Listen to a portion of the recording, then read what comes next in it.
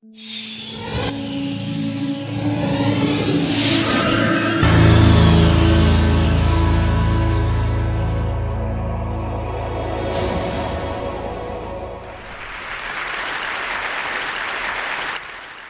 I'd like to start by focusing on the world's most dangerous animal. Now, when you talk about dangerous animals, most people might think of lions or tigers or sharks. But of course, the most dangerous animal is the mosquito. The mosquito has killed more humans than any other creature in human history. In fact, probably adding them all together, the mosquito has killed more humans. And the mosquito has killed more humans than wars and plague. And you would think, would you not, that with all our science, with all our advances in society, with better towns, better civilization, better sanitation, wealth, that we would get better at controlling mosquitoes and hence reduce this disease. And that's not really the case. If it was the case, we wouldn't have between 200 and 300 million cases of malaria every year. And we wouldn't have a million and a half deaths from malaria. And we wouldn't have a disease that was relatively unknown 50 years ago, now suddenly turned into the largest mosquito borne virus threat that we have, and that's called dengue fever. So 50 years ago, pretty much no one had heard of it, no one certainly in, in the sort of European environment. But dengue fever now, according to the World Health Organization, infects between 50 and 100 million people every year, so that's equivalent to the whole of the population of the UK being infected every year.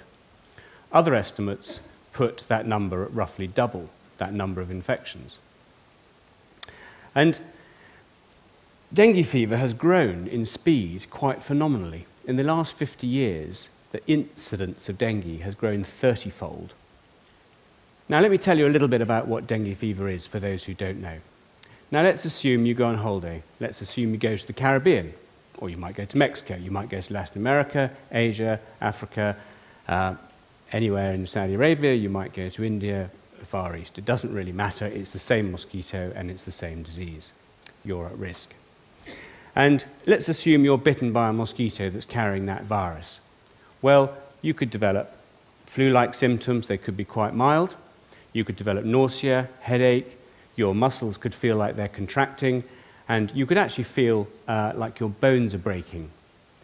And that's the nickname given to this disease. It's called break bone fever, because that's how you can feel. Now, the odd thing is, is that once you've been bitten by this mosquito and you've had this disease, you, your body develops antibodies. So if you're bitten again with that strain, uh, it doesn't affect you. But it's not one virus, it's four. And the same protection that gives you the antibodies and protects you from the same virus that you had before actually makes you much more susceptible to the other three. So the next time you get dengue fever, if it's a different strain, you are more susceptible, you're likely to get worse symptoms, and you're more likely to get the more severe forms, hemorrhagic fever or shock syndrome. So you don't want dengue once, and you certainly don't want it again. So why is it spreading so fast? And the answer is this thing. This is Aedes aegypti. Now, this is a mosquito that came, like its name suggests, out of North Africa. And it's spread around the world. Now, in fact, a single mosquito will only travel about 200 yards in its entire life. They don't travel very far. What they're very good at doing is hitchhiking, particularly the eggs. They will lay their eggs in clear water, any pool, any puddle, any bird bath, any flower pot, anywhere there's clear water, they'll lay their eggs. And if that clear water is near freight, it's near a port, if it's anywhere near transport, those eggs will then get transported around the world.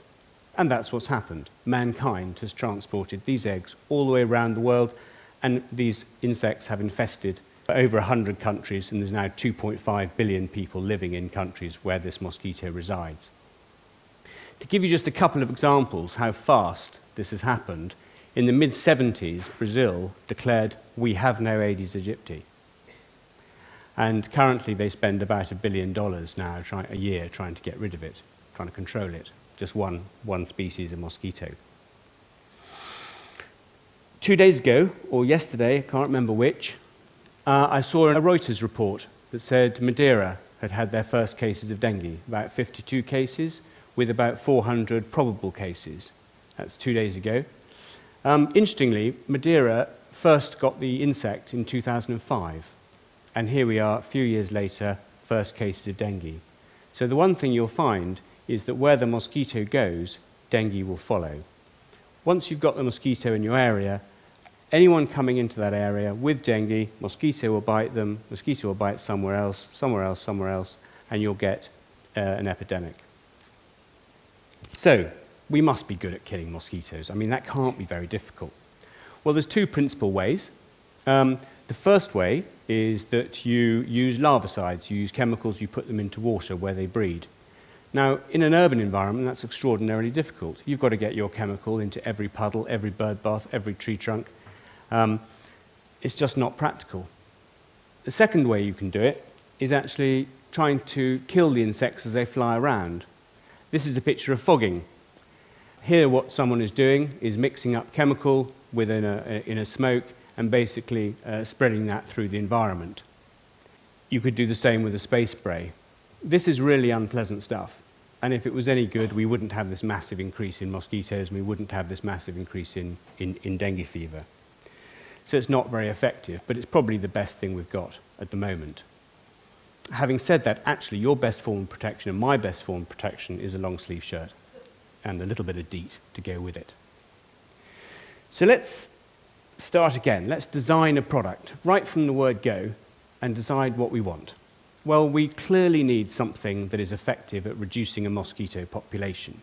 There's no point just killing the odd mosquito here and there. We want something that gets that population right the way down so it can't get the disease transmission.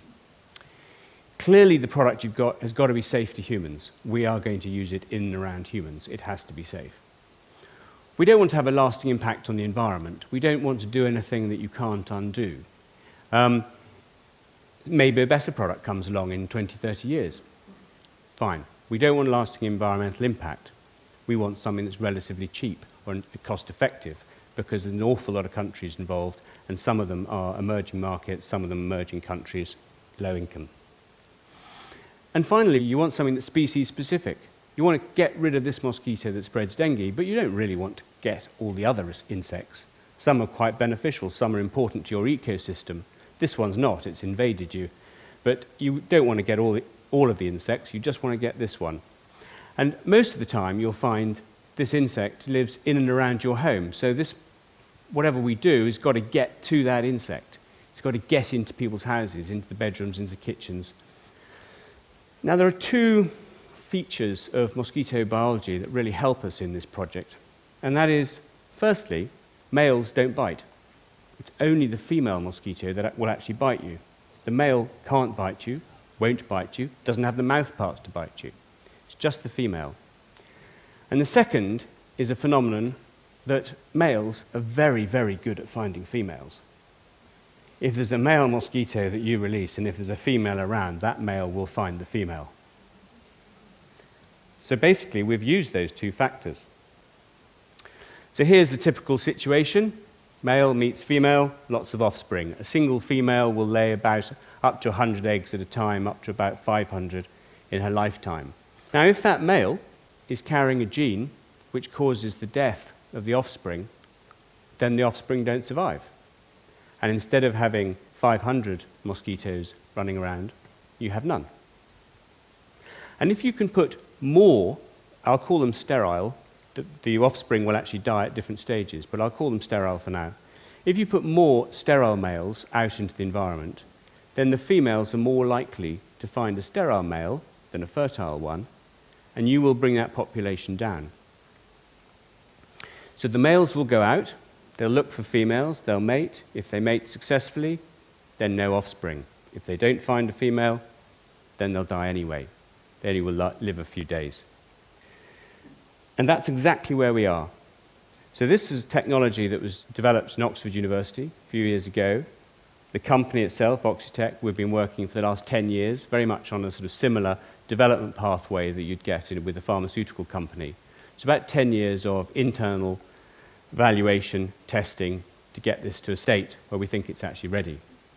And then we've gone out into the big outdoors. always with local community consent, always with the necessary permits. So we've done field trials now in the Cayman Islands, small one in Malaysia, and uh, two more uh, now in Brazil. And what's the result? Well, the result has been very good. In about four months of release, we've brought that population of mosquitoes, in, in most cases we're dealing with villages here about 2,000, 3,000 people, that sort of size, starting small.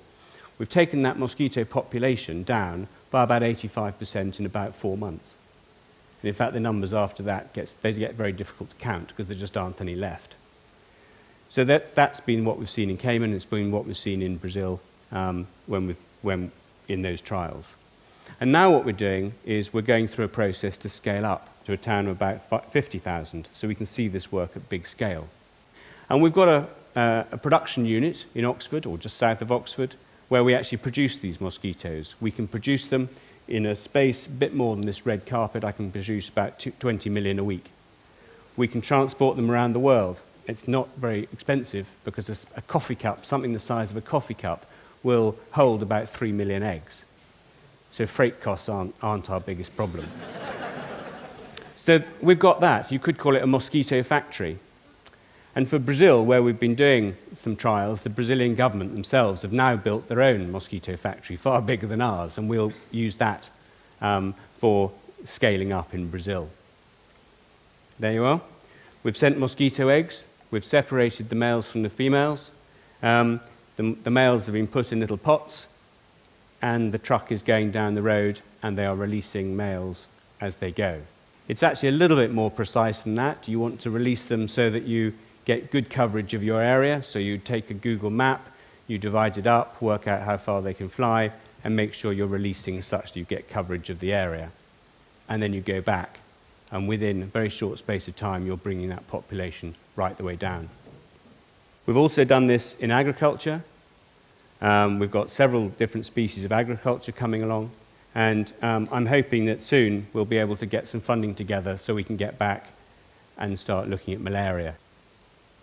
So that's where we stand at the moment.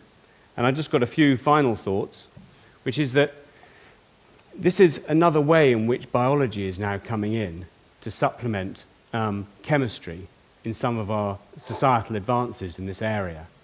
And these biological approaches are coming in um, in very different forms.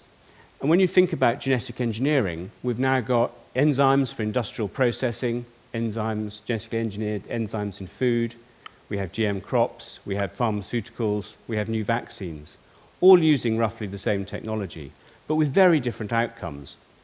And I'm in favour, actually, I'm, of course I am, I'm in favour of particularly where the older technologies don't work well or become unacceptable. And although the techniques are similar, the outcomes are very, very different. And if you take our approach, for example, and you compare it to, say, GM crops, both techniques are, do, are trying to produce a massive benefit.